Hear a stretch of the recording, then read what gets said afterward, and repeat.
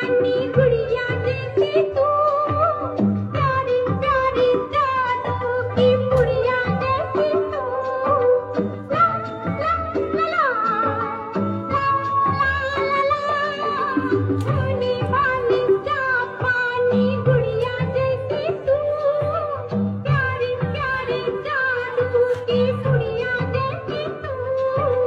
Daddy का mummy का सबका कहना है।